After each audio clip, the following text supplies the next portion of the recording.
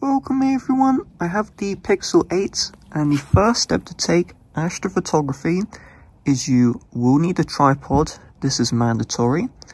And then on the Pixel, let's start by opening up the camera app. And in the camera app, we need to select the night sight option. In here, you can see the moon icon.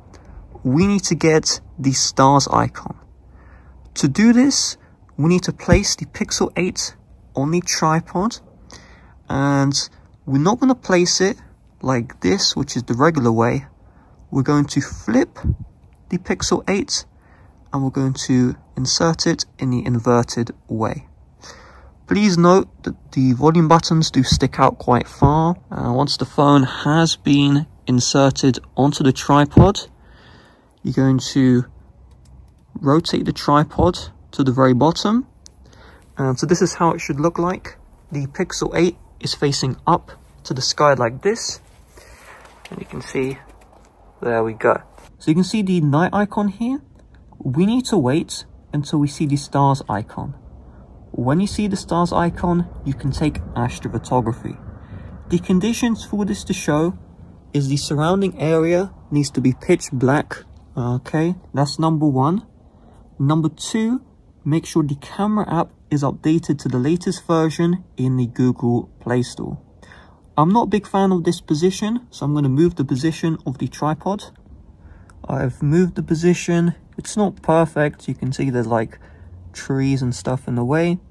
But we're going to wait for the Astro icon to show. And then we're going to tap the shutter button. So you can see here, keep still, 4 minutes, and maybe up to 5 minutes. Do not move the tripod, leave the phone still, do not introduce any new lights, and we should have the picture taken. It will make a chime sound when this is done, but I would recommend you set a timer just in case you set the uh, phone on silent. And you can also see the previews being built, but you won't be able to see this. And also, if you need help seeing the phone screen, you can see I'm recording. So I have a second phone. I'm using the front camera to see the Pixel 8 because it's like next to the floor. And so I'm going to patiently wait for this one to finish.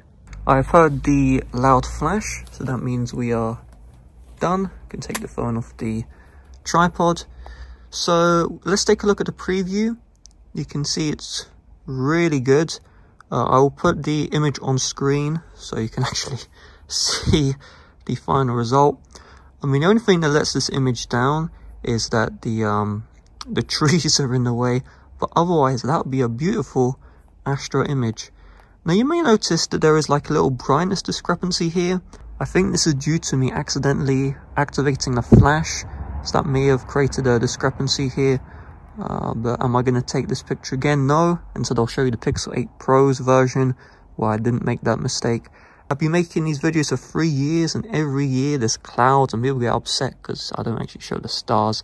This time, I actually love this, so bye-bye.